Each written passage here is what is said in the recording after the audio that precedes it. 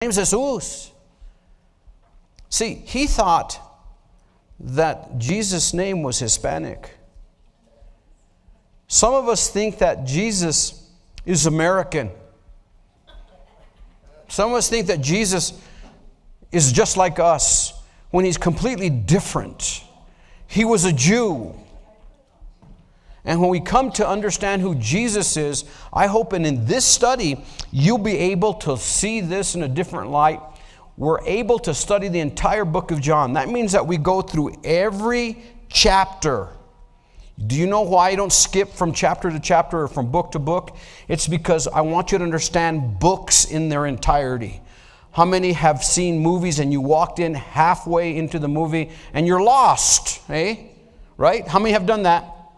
You catch a movie halfway and you don't even know what, what's going on. Same way with the Word of God. We're going to learn the Word of God. We're going to start in John chapter 3, verse 22. After these things, Jesus and his disciples came into the land of Judea. And there, Jesus was spending time with them. And what was he doing? You're following me, right? Read it again. After these things, Jesus and his disciples, who went? Jesus and his disciples came into the land of Judea in Galilee, and there he was spending time. Who was spending time with the disciples? Now, think about that for a second. God is spending time with his people. That's what Jesus is. Jesus is God, and He's spending time with people. If there's anybody that wants to spend time with you, it's God.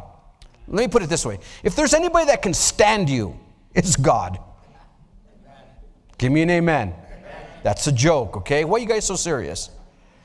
Here's the thing Jesus spent time with the disciples, and what was he doing with them? He was teaching them things, baptizing. So they had a mission to go out and baptize. How many of you have been baptized at least once in your life? Raise your hand. Do you remember when, Frida, when, you were, when were you baptized? Were you baptized once or twice? twice? Why? Because the first time the water got real muddy, what? What happened? they put you back in, you didn't stay down long enough for Benny? So, how, so you got baptized as a child? As a child? Did you want to be baptized as a child? You don't remember? Okay. How many you got baptized as a child? Why did you get baptized as a child? Huh? Who? Your parents did? What did it benefit you? What did, how old were you, Dan? Six and seven months. What did it benefit you from six and seven months? What, what was your thought when you went under the water? At six or seven months, who remembers their six and seven months uh, your, what you were thinking. What were you thinking at six and seven months? Clueless. All you wanted was the bottle. Amen? So, why were we baptized at an early age in some religions? I'll tell you why you were baptized. Because mom and dad had a responsibility to their church to baptize you at an early age. A lot of people came from that at some point in time. I know at my uh, my, my part, my mom baptized me so in case I died as a child, I could be allowed into heaven. Is that how it works? Who said yeah? Somebody said yeah. Yep. Is that how it works? When you're a baby and you die, they baptize you so you can get to heaven. Does water baptism take away your sins. So, how can you enter heaven if you have sin? And what we've done, and the whole point of this, and we're going to find out that the precepts of men and the teachings of men are wrong. And God's teaching, He comes back to get us to understand exactly what this thing about baptizing is all about. So He's bringing us to a point where He's teaching us the need of baptism. Do we need to be baptized? Yes or no? Now, when you're baptized as a child, how many were baptized as a child? It was, your, it was your mom's and dad's responsibility to teach you the Bible so you would understand why you got baptized. Well, let me tell you something. By that time, when they got you to a certain age to start teaching you, how many of you remember that teaching? In other words, a lot of us weren't taught after we were baptized as kids. Would you agree? We weren't taught anything. So, what benefit did baptism have? None. Absolutely none. It was just a ritual. It was just a custom. It was something that we did because that's what my mom and dad did. So when I grew up as a, as a teenager, was 18, I, I, could, I was allowed to, to be drafted. I could vote. Then I asked my mom, What party do I go to? What political party? And my mom and dad were Democrats, so that's what I was. Okay? Did I understand anything about the Democratic Party? No. Did I understand anything about the Republican Party? No. Did I understand anything about government at all from school books? No. This is what I learned in school lunch and playing football. That's what I learned. I learned nothing about our government. So here I became a Democrat by the choice of my parents. I got baptized by the choice of my parents, and yet I had no understanding of any of those things. And here's Jesus spending time with them and baptizing. Jesus, you'll find out later on, I think chapter 4, you'll find out that Jesus himself didn't baptize with water. He taught his disciples to baptize with water. So that's why he's spending time. We want to talk a little bit about baptism. Baptism does not send you to heaven. Because if it did, how much water would you need? How much water would you need to take away your sins? Not even the ocean has enough water.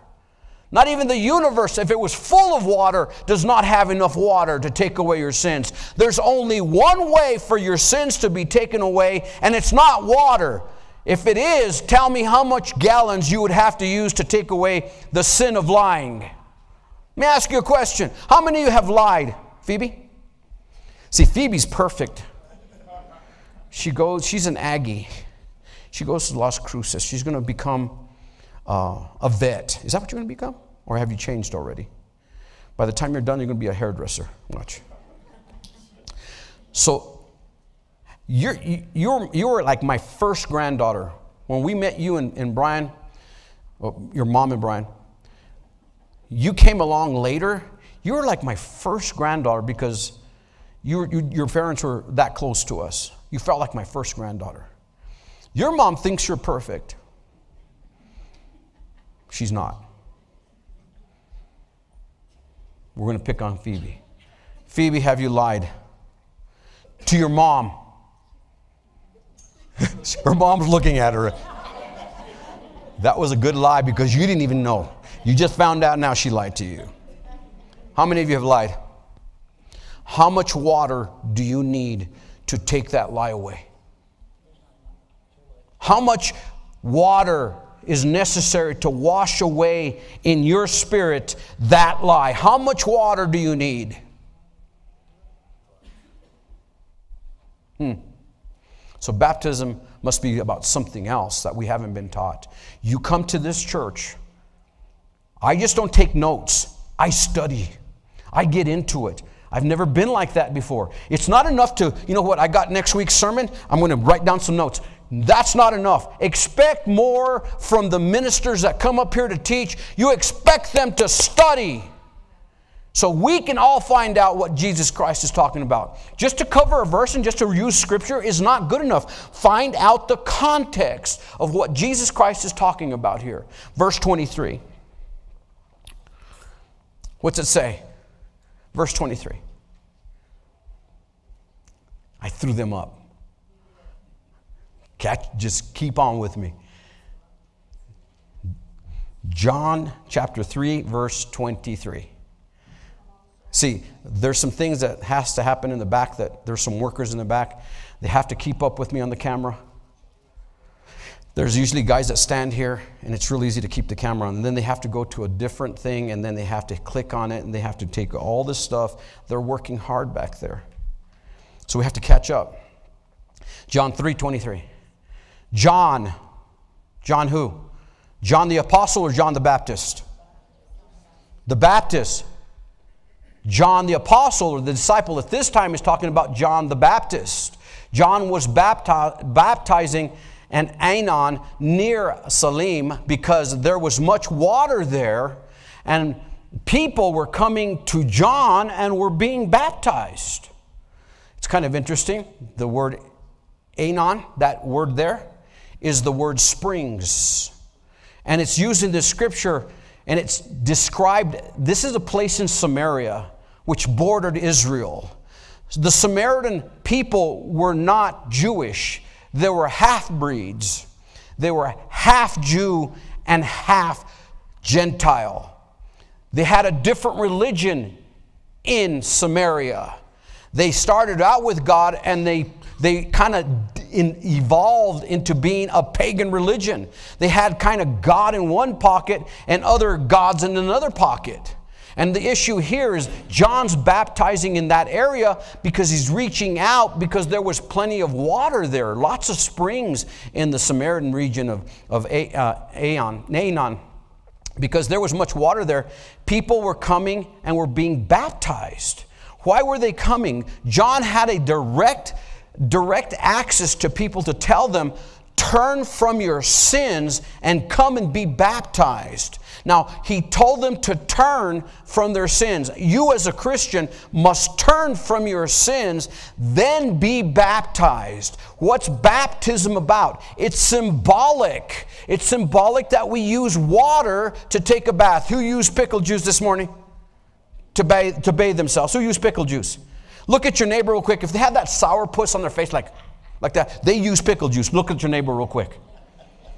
How many know that using water is to cleanse us of dirt right? We we work during the day we start to sweat we get dirty doing our business there building whatever we're building and then we jump into the shower we cool down because it's been hot during the day we're dirty and it washes off dirt. Let me tell you something about the water that we see here when they're being baptized. It's telling me and you we're dirty Every one of us are dirty. Every one of us has sinned. Every one of us needs a Savior. Every one of us needs to come to Christ because we have a dirty spirit life. That water cannot take that sin away. Only Christ can. And when you don't recognize that you're a sinful person, you'll never go to Christ. You'll never receive Him. You'll never be uh, freed from your sins. You'll die in your sins if you don't believe that Jesus Christ died for you. But what we've done is we started to devolve in the church. We started using kind of methods that no longer mean anything. It don't, it doesn't, baptism doesn't mean anything to the church anymore. And here's Christ telling them this is what baptism's about. Jesus spends time with them. John the Baptist, that's his mission. He was there to baptize people, telling people, you need to repent from your sins. Now, you may not like that. You may not like being called dirty, but that's what you are. That's what I am. I'm dirty. And there was a point in my life where I had to come to a Savior who could clean me up. You cannot clean yourself up. If you could, then Jesus didn't have to die on a cross for you. If water could clean you up, if doing a good deed to poor people or to a community, if that makes you better, how much work must you put in to take away your sins? See, I'm going to bring you back to what Jesus is doing in our lives. Jesus is telling us we need to be washed with water because we're all dirty. We're all sinners. This guy right here, I'm the biggest sinner in this whole room. I know what I've done as a pastor that I shouldn't have done as a pastor. I understand that I need a Savior. I understood that I was going to hell. And you know what? If you don't think you're going to hell, you're not going to hell only because Christ took away your sins. And if you die in your sins, you're not going to go to heaven. And it's not even about heaven, it's about being with God forever. Your sins make you dirty. My sins make me dirty. Water, Tide. See kids eating Tide Pods? What's with that? What are they trying to cleanse? They're, no, they're not trying to cleanse anything. They just don't have a brain eating a Tide Pod. And here we are trying to clean our lives. I'm going to put it to this point. We try to perform for God to be accepted by Him. So I'm going to be baptized. Not only am I accepted by God, now I'm accepted by this church people. Do we baptize? Yeah, we were going to have baptisms during Easter. We have a unit already that actually will give us hot water. You don't have to be dipped in ice water anymore in this church. We built a unit, it's, it's uh, direct demand water, it'll make it hot. We're going to baptize some people. We got it already. We got a plug in the back for 210 volts or whatever it's called. Got it already. Then this virus hits, and then we don't baptize anybody. Why do you get baptized? Well, here's why I got baptized because I was going to turn from my sins, because I understood I have to turn from them, then be baptized in front of all of you to let you know that Christ has cleansed me, not the water, and that I die and I go underneath the water like a tomb. Then I come back out of the water because Christ made me alive from that tomb, from that watery grave. I come out into a new life. If your life hasn't changed after baptism, it's probably because you didn't repent. Your life should change. You should be cleaned up by God's blood, by the Son's blood. You should be clean, and your life begins to become transformed. Water baptism means nothing without Christ. Nothing. Christ means everything. And if Christ was baptized, because we know John the Baptist baptized Christ, Christ had no sin. But why did he get baptized if Jesus had no sin? Jesus got baptized as an example for you and I to follow. Jesus said, This is the right thing to do, so do it now, John. Permit this to be, to be done. So he gets baptized. Go back to James. See the girls? That's where I should have gone on the, after this 22nd verse. Jesus is spending time with them. Water, as it's used in the New Testament and Old Testament, is baptized, is the very fact that the baptisms were used in the New Testament, were they in the Old Testament? Or ba- are baptisms only found in the New Testament? Who can answer that? Said what? Someone mumbled something I couldn't hear because I'm deaf. Was there baptisms in the Old Testament? Yes or no? No, yes, no, yes.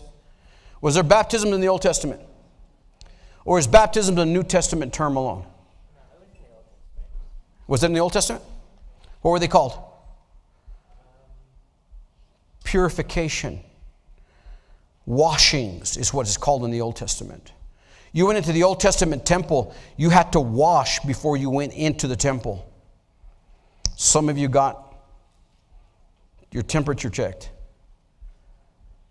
Some of you don't like that. That's right, you're doing it for me. It's for me, okay? Why is it for me?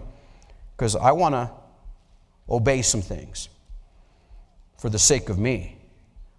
Okay? We look at baptisms. When you look at a baptism, you have to understand this is what Jesus requires. So, baptism has to be done correctly. Old Testament, they were called purifications and washings. They had lavers. A laver looks like a big old disco, and it had water in it, and it was symbolic of cleansing. How many know that we need water to live? Okay? It's symbolic of the life giving symbolism that it gives. We must have water to live. Cleansing. The priests had to be cleansed before they ministered to the people in the temple. They had to sacrifice goats and rams and bulls. They had to kill turtle doves as sacrifices, and they literally killed them, cut their throats, and spilled blood all over the altar. Those are pictures and types of what Christ is to us. And here's what we have to understand is that you need to be cleansed because you're dirty. No one likes to be told that. No one likes to be called a sinner. No one likes to be called that. Well, you think you're better? No, this is me saying sinner from the heart of a sinner. James chapter 4, verse 7 very clearly tells us James, the apostle, was the stepbrother of Jesus Christ. He was the stepbrother. He was a pastor in a church in Jerusalem. James was killed by the leadership of the day, the Jews. They cast him off a high wall. He hit the ground, didn't die. Then they came around him and they got what was called fuller soap paddle, paddles, which looks like a big old paddle, like an oar. And they beat him to death because they hated what he preached. He died a martyr. James, right here, grew up with Jesus Christ. I mean, all of us have that sister or that brother that are smarter than us, huh? Right? We have all have that. How would you like to grow up with Jesus being your brother? I mean, what kind of pressure is that? James grows up and Jesus is the God of the universe, the Savior. And James writes this Submit therefore to God, resist the devil, and he will flee from you. Verse 8 says this. Verse 8 says, Draw near to God. What's James telling us? You first. You first. You draw near to God. Then he says this Draw near to God, and he will draw near to you. You first need to come to God in order for him to come to you. Notice this cleanse your hands. Let me use another word wash your hands. Why do we wash our hands? Because they're dirty. With what? Look right there. Cleanse your hands, you sinners. Ah, oh, quit calling me a sinner. Have we sinned? If anyone has broken one of the Ten Commandments, the Bible says you broke them all. Has anyone ever lied? And let's just say it this way to give you a break a white lie. Half truth, half lie. Who's ever lied? Raise your hand. Sinner. Those that were like this, you just lied. You didn't raise your hand. We know you've lied. We can call your mom up and we can find out. She says, Yeah, he's a little lying dog. How many of you have ever stolen anything, taken something that does not belong to you? Sinner. How many of you, I'm pretty sure everybody in here has a mom and dad or you were ordered from Home Depot. I think everybody was born from mom and dad. We all had a mom and dad. How many of you disobeyed your mom and dad? Raise your hand. Sinner. See, I'm not putting you down. We've all done that. We have all sinned. Have we not? One sin separates you forever from God forever. To the point where God's going to punish you for your sin. Not that God wants to hurt you, but God wants to save you because He knows you're separated from Him. He did something about that. He sent His Son to die in your place because of your sin. He took your sin in His body on the cross that we might be made right by God. So Jesus walked the right walk, talked the right talk when we didn't. And when we accept Jesus Christ, He takes away our sin and He takes away our death. And Jesus exchanges His life and He says, Now I walk the right walk. I know it's hard for you to walk the right walk, Pastor Danny. I know it's hard for you to be right with me, but you know what? Walk like Jesus walks. I'll give you His life, and you can walk in Him and Him in you. God gave us Jesus' life to walk in. So when you go to heaven, you're in Christ. God doesn't see you in your sin, he sees Christ, his son, who gave his life for you. It's a great exchange. Jesus doesn't want anyone going to hell. But you know what? People will go to hell. Jesus said so. Does he want them to go? No. Jesus died for everyone, but not everyone wants Jesus. He says, Cleanse your hands, you sinners. It tells me that this guy has to have a constant cleansing. My hands aren't always clean. I've got to come back constantly and cleanse my hands. How do I do that? God, I confess my sins. You're faithful and just to forgive me of my sins and to cleanse me from all wrongdoing, unrighteousness, and sin. Because sin makes us dirty. There's a constant cleansing of your hands. You cleanse your hands all the time. And it's amazing how now we have hands hand sanitizers and we uh, were ordered to wash our hands. What have we been doing before then? What have we been doing with our hands prior to that? Do we know how filthy our hands are? You only know that, and we now start washing our, our, hands and making sure that our hands are clean so we don't pass anything, especially cooties. Cooties are the worst things in life. But he says, purify your hands, cleanse your hands, wash your hands, and he calls us sinners and purify your hearts. Purify your hearts, you double minded. Double minded people have two souls. That's what the word double minded means. How do you purify your heart? You can't. Your heart is wicked. Your heart is awful. It affects your entire being. You can sit in church right there. Sit in church. Be absolutely quiet Go into your thoughts, and while you're at church before God, have an awful thought. Guys, we can be sitting here minding our own business, and a beautiful girl walks into the room.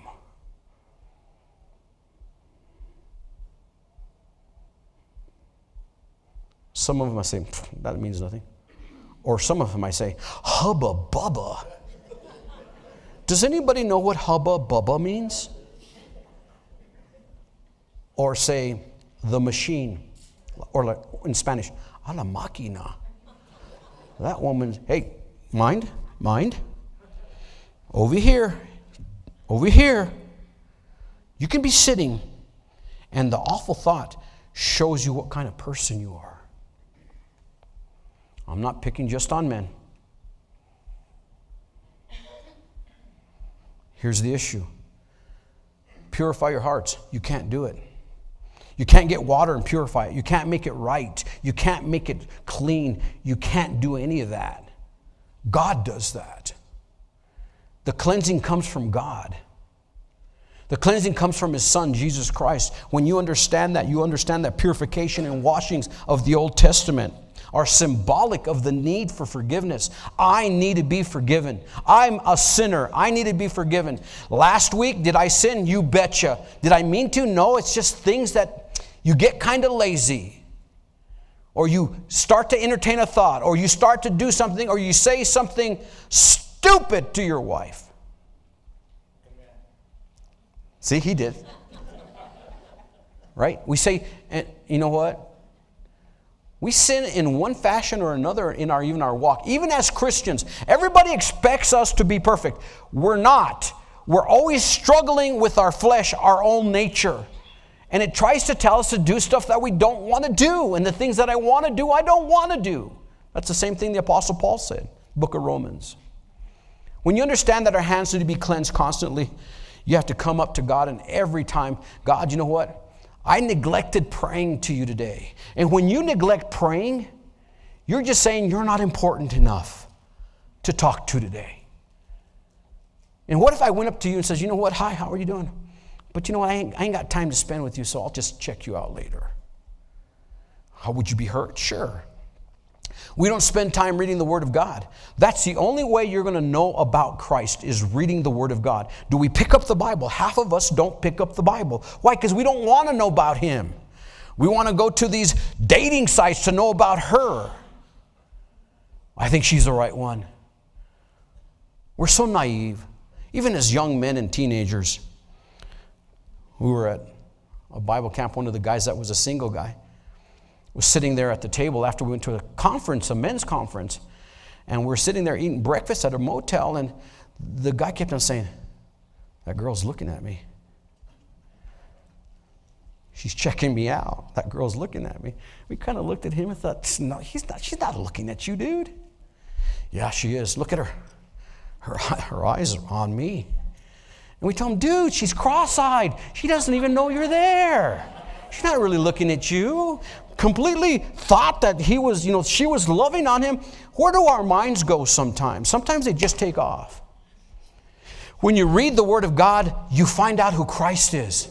You can't find out how He is any other way. You can't find out how Christ is through prayer. You find out how He is in the Bible. You find out you have a relationship here online with your Bible. You get in a relationship with Christ when you read your Bible. You don't read your Bible, you don't teach here.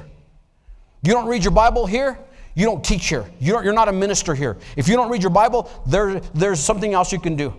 But we're not going to put you in charge of people when you don't know what the Bible says. You better know the Bible. I have to know, you have to know. We have to know the right thing. So understand, we're dirty. He's calling us dirty. Cleanse our hands. He's telling us to make sure that we turn from our sins because sin can actually think in your you can in your mind you can think that sin is fun.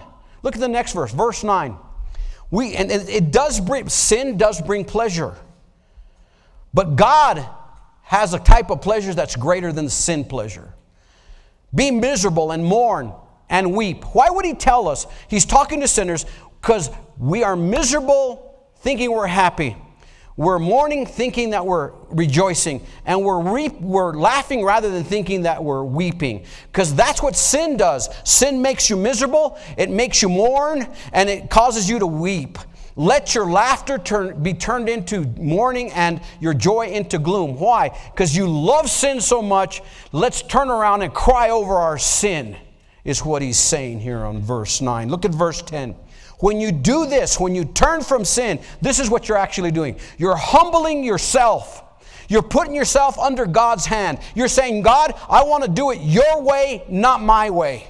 When you understand that humility is a place of power, when you understand that submission, putting yourself under Christ, is the place to be, it gives you power to live a life that Christ expects you to live.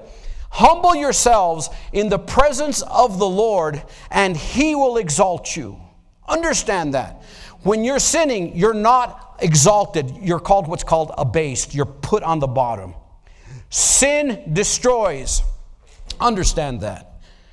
Understand we're earthy. Understand that we're sinners. Understand that we got to turn from those things, and God wants us walking like Christ in righteousness and in innocence, not harming anyone.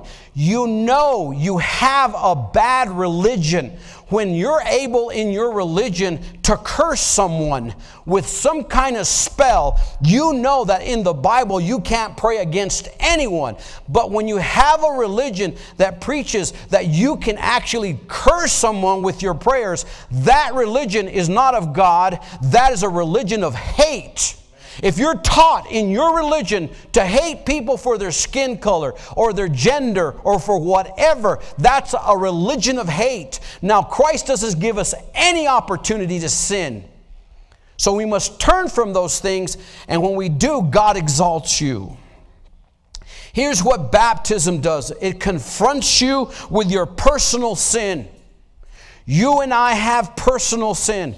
That's the thing that's going to kill us and separate us from God. That's why Jesus came to die for your sins. No one here, no one here is perfect. We've all sinned. But we got to turn from our sins. Just not believe that God forgives us, because that's not enough. You just can't say, Well, God, I know that you forgive my sins, so I'm going to live my life the way I want to. Wrong. You're going to live in misery. You're going to live in hurt. Trust me, I've been down that road as a Christian. trying to do my own thing. And you know what happened? Every, every time I went to go sin as a Christian, as a pastor, I went down a road that was a dead end. I had to come back out and find another road. And when I ventured out into another area of sin, I went down a dead end road to the point where God says, I've had enough with you. And then He kind of humbled me. Let me show you how He humbled me. He slammed my face into the dirt Everything that I had done in my practice caused me to fall flat on my face. It crushed me. It hurt me. And God says, That's your way. Get up, and I'll show you my way. That's what humility is. That's what being humble is. See, everybody you meet have a destination. They're either heaven or hell. We want everybody to go to heaven. Amen. Why do we have church here? Why do we gather people here? Slowly but surely, everybody's trickling back.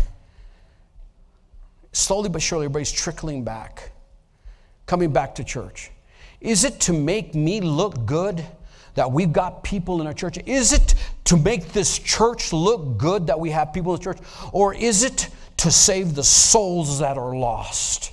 Is it to kind of sit together and learn the Word of God so we can reach someone else for the kingdom of God? Is it about gathering our own personal disciples or saving souls? Let me tell you, it's the latter. We're here to save souls. And sometimes you have to confront a sinner in his sin. Why? Because you love him well, I'm not going to I'm not going to push my religion down anybody's throat. I had a Christian woman tell me that. I'm not going to push I'm not going to talk to them about Jesus. I'm not going to push my religion down their throat. You know what Jesus said? Go and preach the gospel. Having them be, teach them the gospel, tell, tell them to observe all that they do, having them baptized in the name of the Father, Son, and Holy Spirit, go and change the world, is what he said. And here we're saying, well, I'm not going to I'm not going to do that, Jesus. I'm not going to push my religion down somebody's throat. There's a word in the Bible called compel. Go into the highways, go into the byways, and compel them to come in. Do you know what the word compel them comes to come in means? Here's what Jesus says Go into the streets of Grants. When you see a sinner, and you can tell who they are because they cuss God right in front of your face. They're on drugs. They're lost. You can tell. You confront them. The word compel means this with force, draw them to the kingdom. And here's people saying, Well, I don't want to preach something that somebody's going to get offended. Jesus said, Compel them to come in. Force them to come in. How can you force anybody? But to preach a strong gospel that God was sent, sent his son to die for them, because if they don't accept Christ, compel them to come to Christ, because if they don't, they're going to be lost. There's more to this life than 75 years. After that, we die. Where do you go? See, when I see an obituary see their age, see where they live, see who their family were, see where the service. I look at that and I think, are they saved? I could care less what time the reception is. I could care less when they're going to bury him.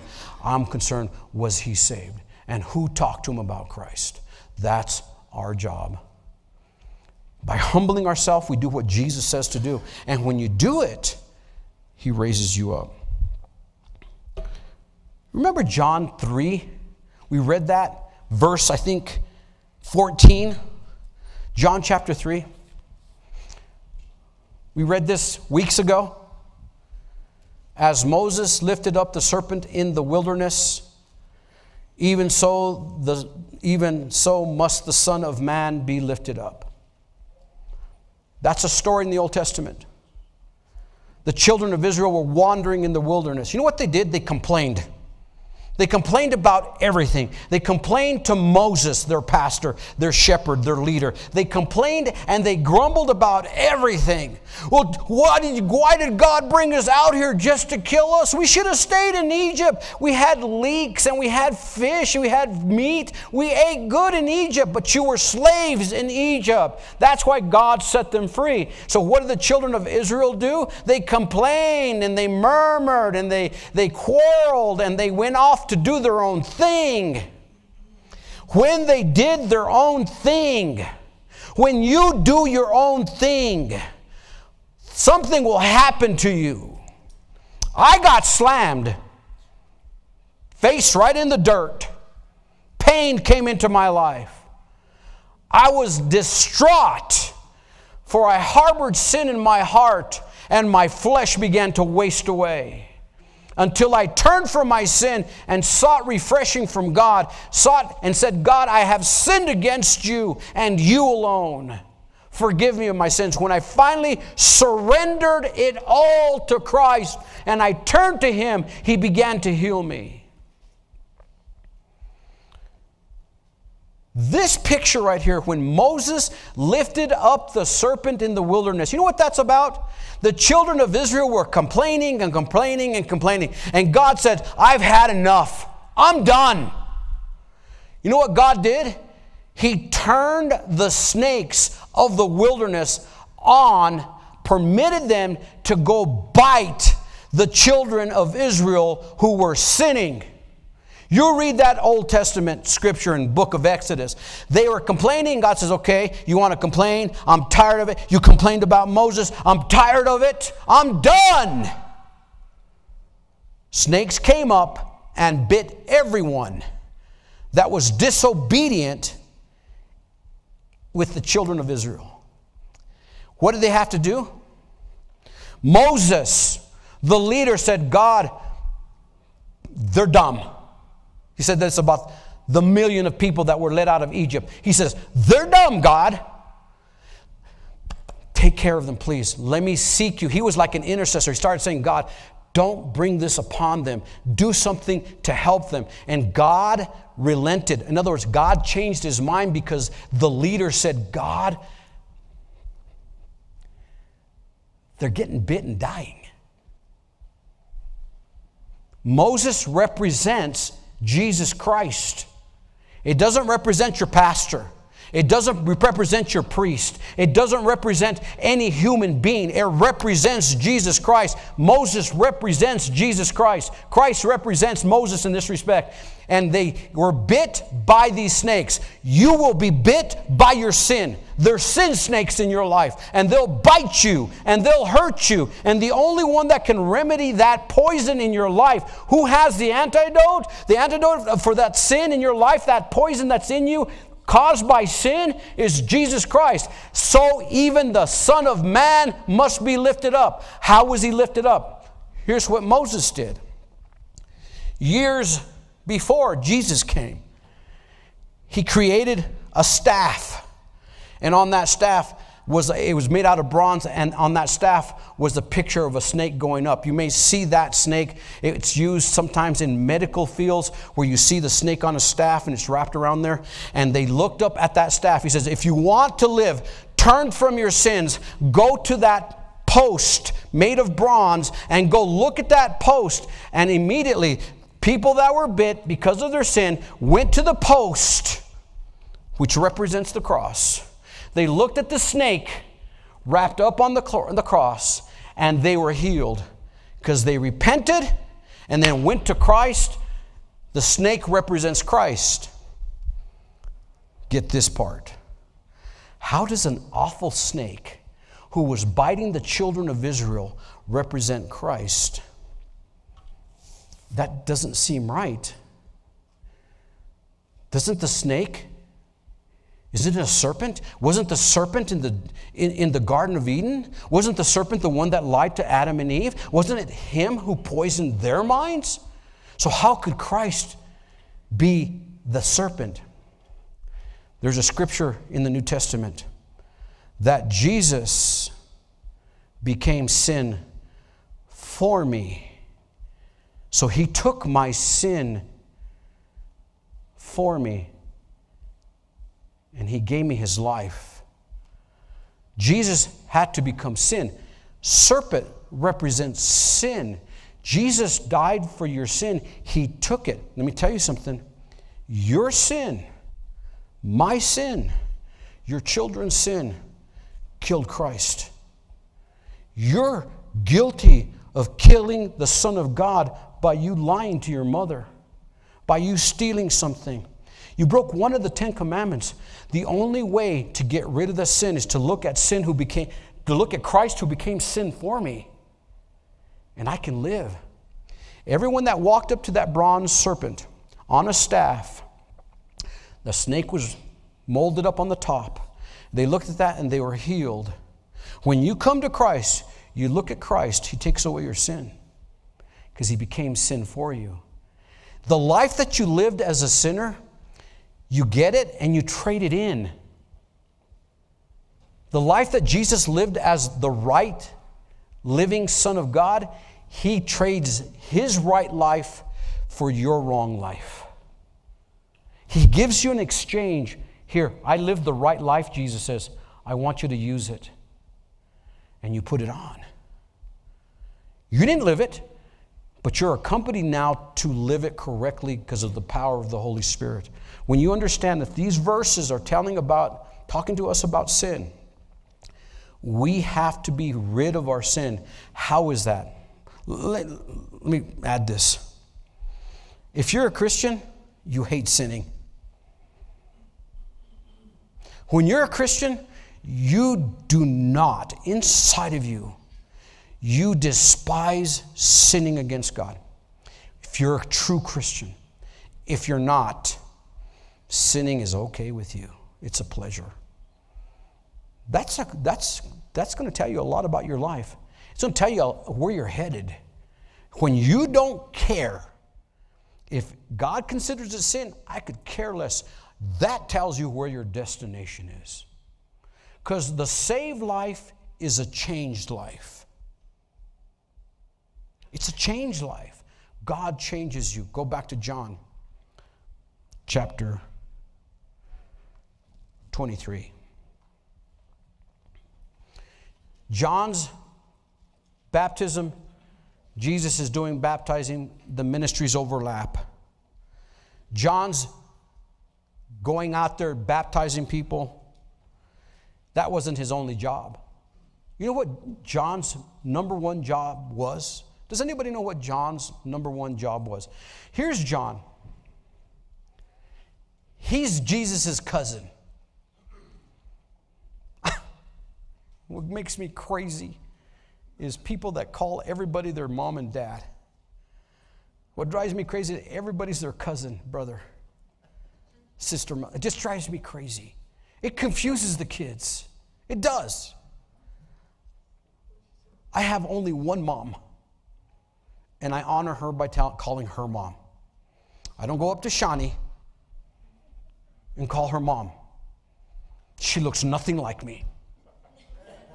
Nothing. I only have one mom. I only have one dad. And here's John. He had one job, and we sometimes think it's baptizing. John was baptizing also. John had a purpose. You have a purpose. John was picked by God to do something specific. And what was that? Turn to Malachi chapter 3, verse 1. See, I've got a purpose in my life. Never knew. I never knew what it was. Then one day God says, I'm going to save your soul. Really? He saved me. I didn't save me, God saved me.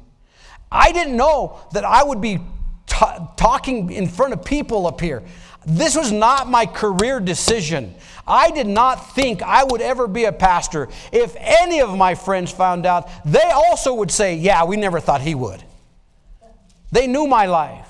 I never planned this, but God had a purpose, like He did with John. And God spoke to John even before he was born. So here we are, sitting in a church, wondering, huh, I just can't wait till this is over because before, if we have to get to the, the restaurant before Monday, because they're going to close all, all the restaurants up. That's all we're concerned about sometimes, is just what restaurant we're going to go eat. And how long is this Mexican going to stay up here preaching and talking? Man, the Baptists are going to beat us to Denny's because there's not any more open restaurants in Grants. Here's John's purpose. Our purpose is important. God has a purpose for you, and it's between you and God to figure out what that is. I can't tell you what it is. I can see some outlying factors that I see in your life and say, you know what, that guy really likes helping people. Well, you're going to be, you're going to always have a servant's heart. God's going to use you to become great because every servant that God uses become great in the kingdom of God. I don't know what your purpose is, but here's John's purpose. Behold, I am going to send my messenger. Who is he talking about? In Malachi chapter 3. John. This is a prophecy or a prediction so you can understand the prediction that John is being picked by God. God says, Behold, I'm going to send my messenger. This is God speaking. Malachi chapter 3, Malachi chapter 1. When you understand when was Malachi written, does anybody know when the time that we're hearing about Jesus talking to his disciples, how many years had lapsed since this prophecy was spoken by God about the, the baptizer called John? How many years was it before John ever came into the scene being born? Someone tell me, how many years was it? 400? 400. Predicted 400 years before it happened in Malachi there, it shows us that he's predicted to come in before he was even born. John was picked for this. John knew it, Jesus knew it. Behold, I'm going to send my messenger. He will clear the way before me, and the Lord whom you seek will suddenly come into his temple. Who's the Lord that you're going to seek that will suddenly come into the temple? Who is that? That is Jesus. God sends John, he's a messenger, he sends him to prepare the way, and suddenly Jesus shows up. You look at the book of John, Jesus shows up, John baptized him. There's this prophecy being fulfilled 100%. And the messenger of the covenant, Jesus is the messenger of the covenant, in whom you delight. Behold, he is coming, says the Lord of hosts. This John was predicted in coming, and John came and did his ministry. Not only that, let me show you some crazy stuff. I'm going to bypass the rest of those verses because it's so long. Isaiah 40, another prophecy. How many years is Isaiah 40 compared to Malachi? Malachi was 400 years. After Malachi ended, the book of Malachi, there was 400 years of silence from God. There was, God did not speak to the people for 400 years. Malachi was the last messenger. And then it was silent. God didn't speak to anybody. Isaiah chapter 40, verse 3. How many years is this prophecy about the, about the baptizer John? How many years is this prophecy? Get to your footnotes. Get to the front where it says context information 700 years. So John's being talked about 400 years, Isaiah 700 years. John's not even around. 700 years before John came. Look at the accuracy of these scriptures, how they confirm one another. A voice is calling. Whose voice is that? Whose? A voice is calling, clear the way of the Lord in the wilderness. Whose voice is that? John the Baptist. Make smooth in the desert a highway for our God. Look what he says in the next verse. Make smooth in the desert a highway for our God. What's he saying? John is going to be sent to tell people get ready, the Savior's coming turn from your sins and be baptized. When we understand that, John the Baptist was called before he was born. I wonder, I, I, look at faces here like Enrique, I look at Jesse and Walter, I look at Leandro.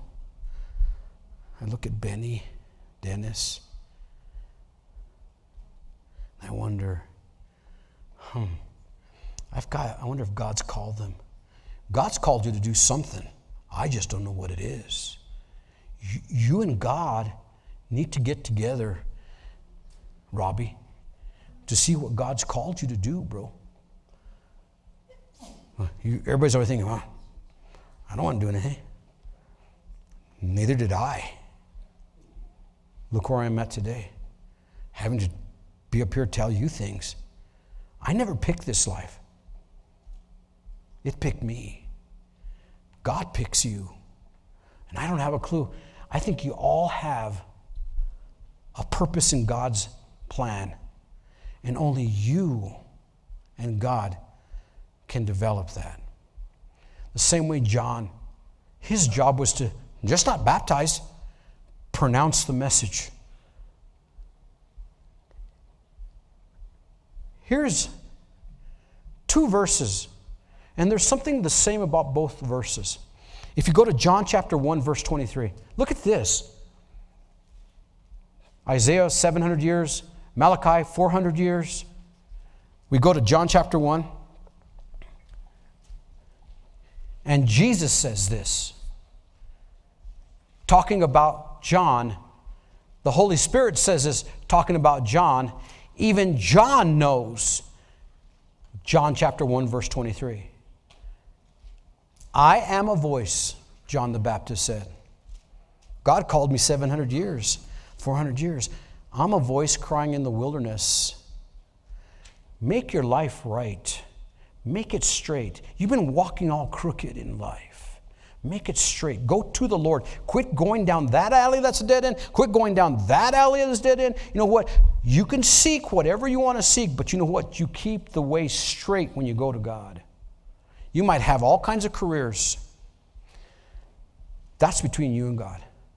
As you seek God, it'll be straight to Him, not to a church, not to a pastor, not to a career, not to anything. Straight to Him. Make straight the way of the Lord, as Isaiah the prophet wrote. Notice. His purpose is God's purpose. Back in John chapter 3, verse 24, it says this John had yet not been thrown into prison. Everybody knows John was thrown into prison, right? Why was he thrown into prison? Because he wasn't wearing a mask. Because he wasn't wearing seatbelts. Why was John thrown in prison? Because of evil men. Because of evil men, he was thrown into prison. They were jealous of John.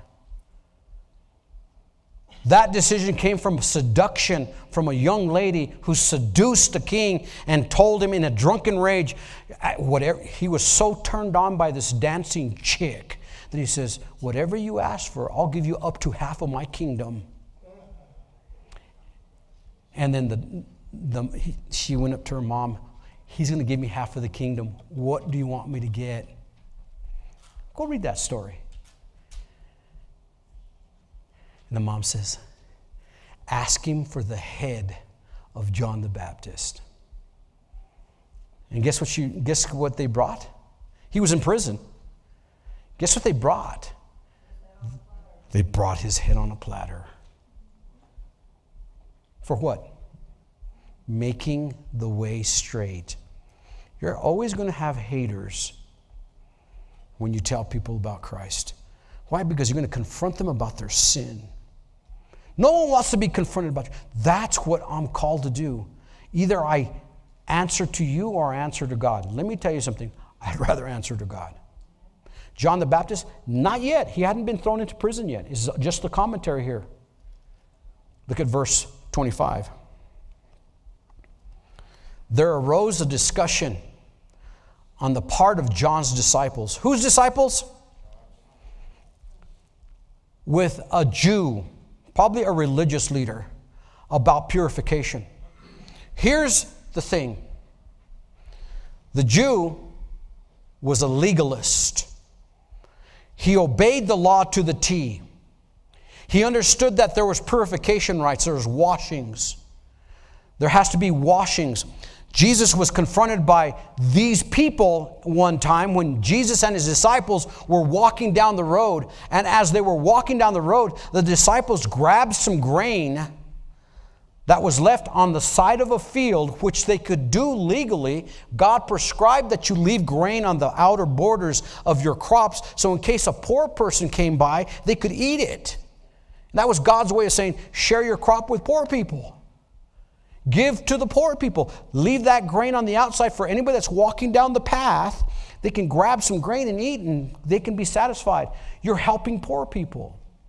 And Jesus and his disciples were walking down the path and they grabbed some grain and started to eat it. And then all of a sudden, this religious Jew or Jews, the religious people who try to put rules on you, comes up to him and says, Why do your disciples eat with unclean hands? Why do you know what you're supposed to do? You're supposed to wash your hands before you eat. And why do your disciples not wash their hands. They're not doing what we prescribed in the Old Testament. They're breaking laws. And when they eat with dirty hands, it makes you dirty. How many of you are afraid of germs? Raise your hand. Let me tell you something, just so you know. You are a germ. There's bad germs, there's good germs. There's bad bacteria, there's good bacteria. Right? How many of you have bacteria inside your intestinal tract? What kind of bacteria is that? Good kind. Do you ever look inside of a intestinal tract and what travels through that intestinal tract? You're telling me that stuff is the good kind? It's called flora. Okay? This is why I read about uh, acidophilus. You know what acidophilus is? It's a bacteria. You take acidophilus and it disperses in your intestinal tract this good bacteria and it creates flora flora inside your intestinal tract and your intestinal tract if it's healthy the flora begins to grow like little fingers. Check it out. Google it. And those fingers grow in the intestinal tract and they go like this. They start to wave when they're healthy. The acidophilus builds that bacteria. You eat bacteria. And all of a sudden, these fingers start to grow. And they start to do this all on the inside track of your digestion. It's just going like this. And guess what it's doing? It's moving. Can I use this French word? It's moving your poop. Comprendes poop? When it's healthy, it's moving your poop because there's reflexes that your body has automatically to kind of, unless you have these fingers that are healthy through the flora, if you take an antibiotic, it kills this thing called a prebiotic. A prebiotic is like found in uh, yogurt. Okay? And, and, and when you rebuild that, an antibiotic kills it. And when you take antibiotics, guess what? You can't poop. Let me ask you a question. How important is poop? Should we be pooping regularly? Why are, we, why are we bringing this up in church, Pastor? We're talking about poop here. Come on, really? Let's get to the spiritual side. Well, they were eating with dirty hands.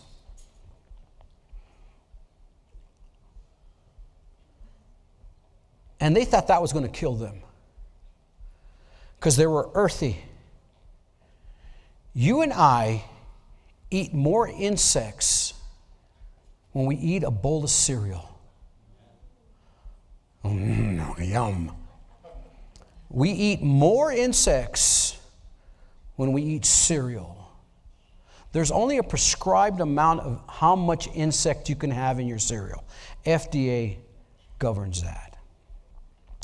If you have a healthy gut, you'll have a good immune system. Did you know that? A healthy gut gives you a good immune system. A good immune system will keep you from a lot of sickness and disease. It will, just scientific, medical fields. These guys are worried about you got some dirt in your hands.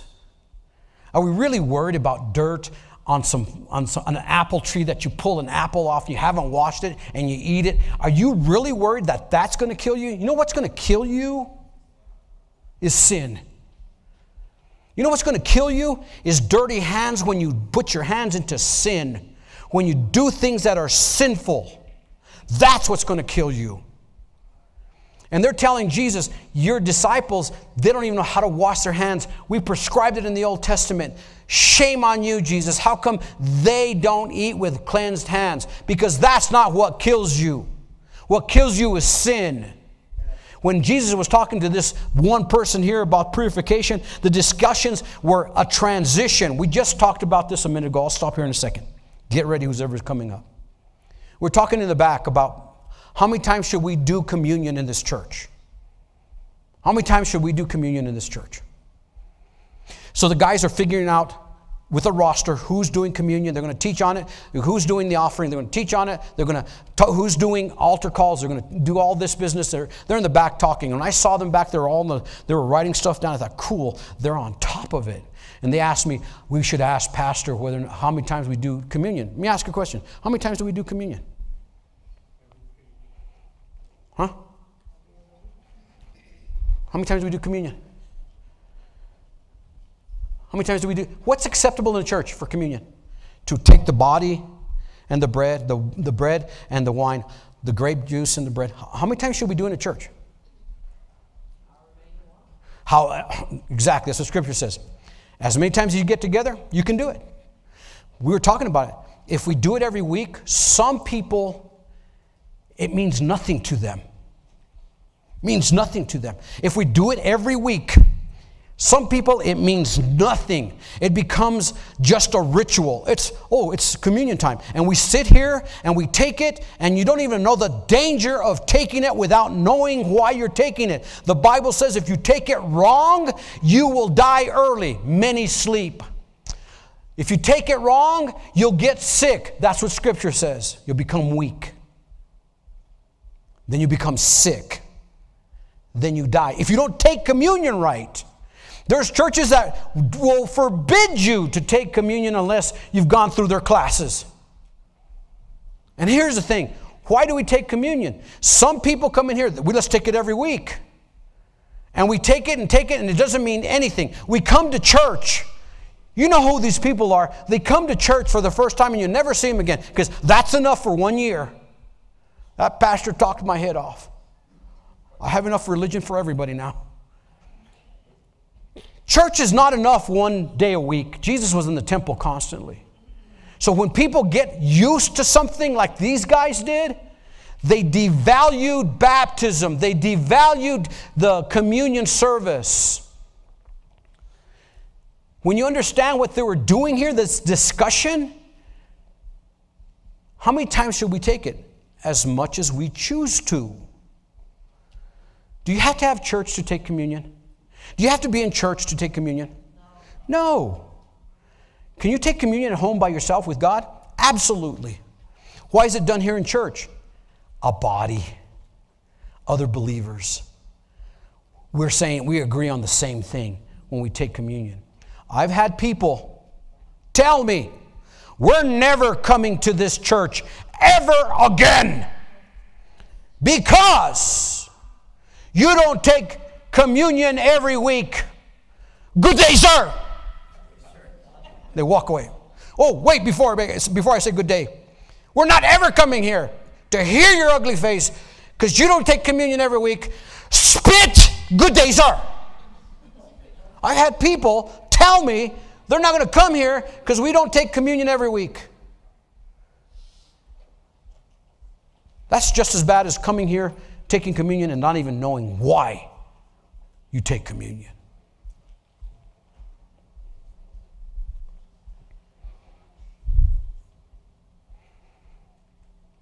We, some of you don't even know why you're here. Well, let's just check it out. We're just like entertainment. Why do you even come? Why do you even show up to church? When you walked into those front doors, did you guard your mouth? The book of Ecclesiastes says, You better guard your mouth as you enter into God's house, lest something awful happen to you. In other words, our life should be right out there, and our life should be right in here. Your life has to be, you're, you're out there more than you are in here. So when you understand that the discussions about purification were men devaluing the things of God, I was told, is that all your church does? Have Bible study? Jesus said, Go and teach my people to observe what I have commanded. What do I teach from? Your favorite subjects? What do I teach? My favorite subjects? Or do I teach what Jesus taught? I will tell you, I will teach what the Bible says, not what you think I should say.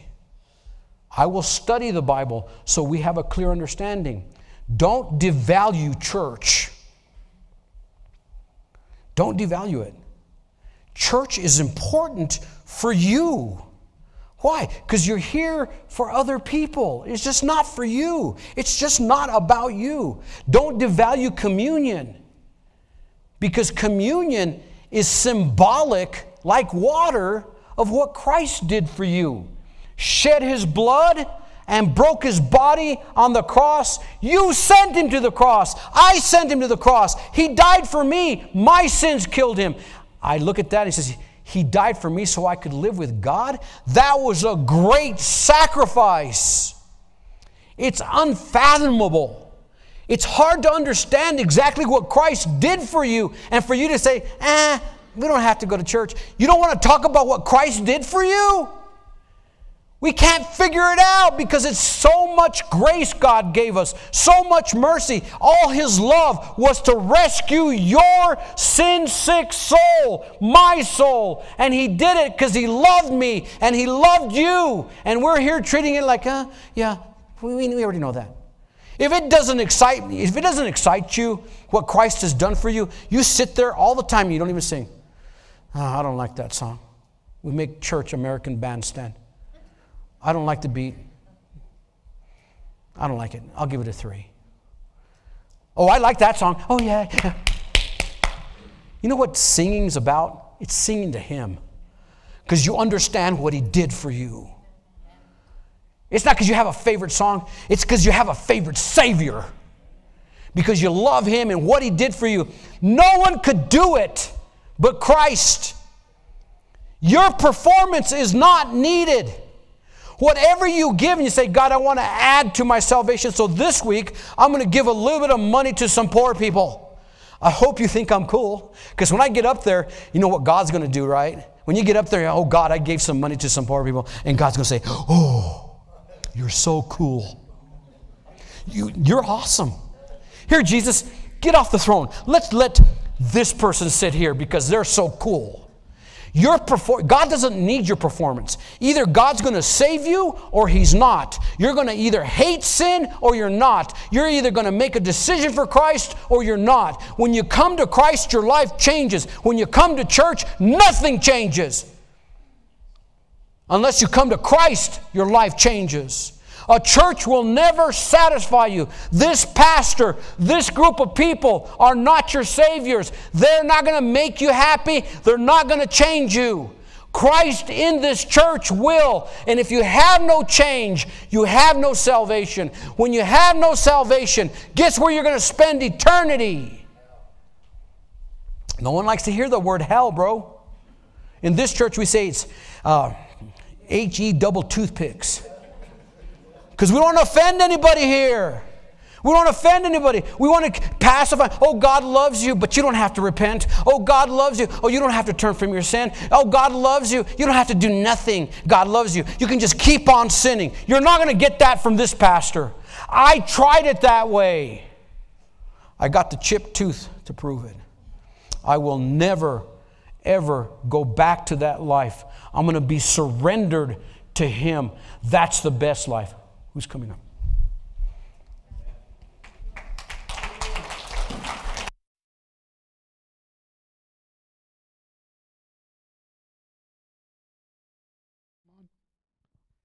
Test.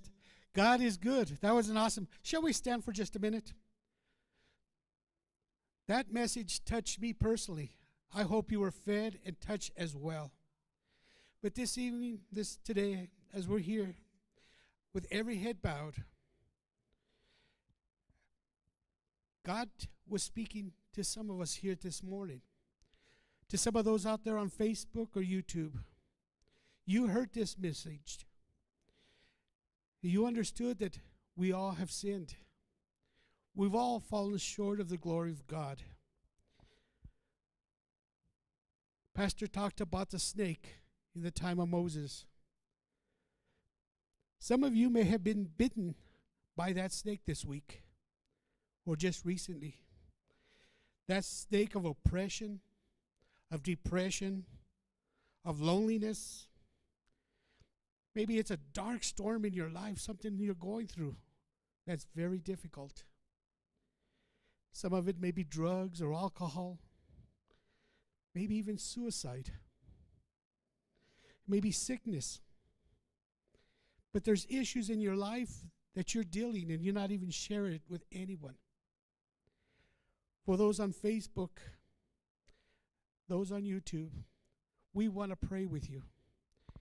If you fall in any one of these categories and have been bitten by that snake, God loves you. He wants to be your friend, your Savior. If you're on Facebook, you can wave at us and acknowledge that this message has touched you and that you need God. God in your life. We all need God. Without Him, we are nothing, merely dust to dust and ashes to ashes. For you and I will die. We will die because of sin, sin that entered into this earth. And the wages of sin is death. But God gives us eternal life. But we have to acknowledge that He is our God, Savior, Redeemer. I don't know what you've gone through. I don't know your issues. I don't know you personally. I surely don't know those you out there on Facebook and YouTube. But today, God loves you and cares for you. We're going to say a sinner's prayer, but before we do this, some of you may say, with every head bowed, I've been going through some of those issues you were talking about. I've gone through dr- drugs, alcohol, suicide, depression, oppression, loneliness, fears, anxiety. I've dealt with them all. And I, by the raising of your hand at the count of three, I want you to say, Pray for me. If you're an individual out there who says, I need prayer, I want you to raise your hand at the count of three.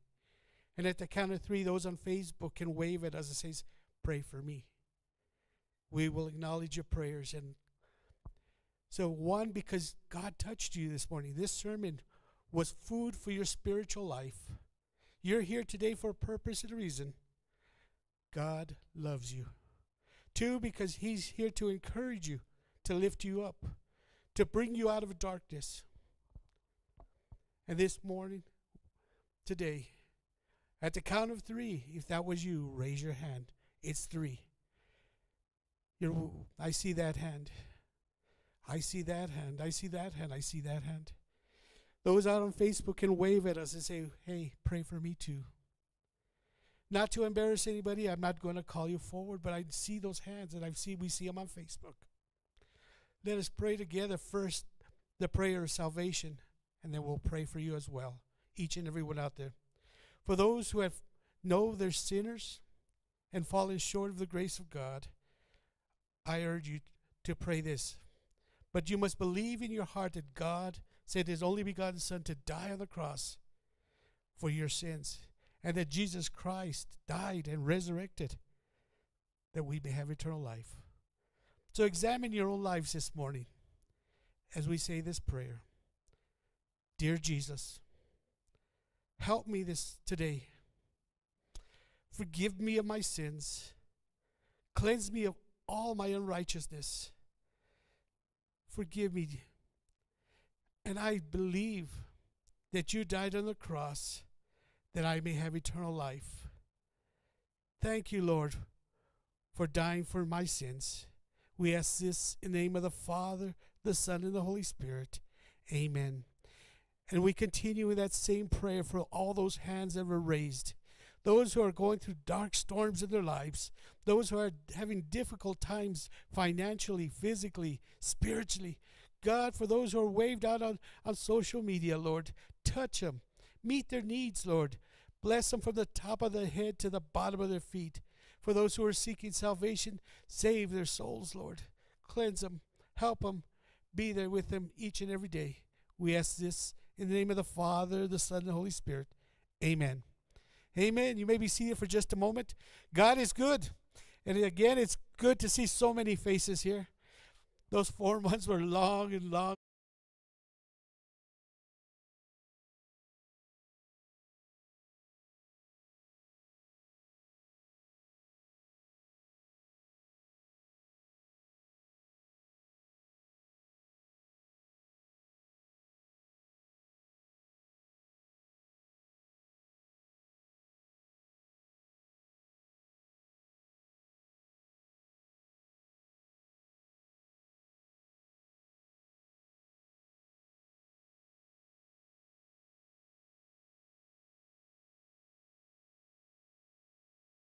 About. But God blesses the cheerful giver. He blesses each and every one of us. So there's uh, different ways that we can give, and that's we can send a, a love offering or a text by texting on the uh, scriptures here. says 855 920405. We could text that. We could go to the Give Plus app, or we can actually mail an offering, and it comes directly to the church. And this offerings that you guys give helps his community. It doesn't just stay in his church, it goes throughout this community to help others. It does pay the lights, the water, the gas, but many a times we help other families, other individuals. And this time of this crazy virus, it's it's been an awesome opportunity to send out food boxes, different helps that we could been able to give. So your offerings do help others, and we want to thank you for being part of this church and part of this ministry with your offerings and your tithes. So at this time, I'm going to ask you to stand and we're going to be dismissed. In the name of the Father, the Son, and the Holy Spirit, I'm going to dismiss you that you go home in your in your weary weeks, that you have a good week and a prosperous week. Amen. And God bless you all. See you next week. See you Wednesday night.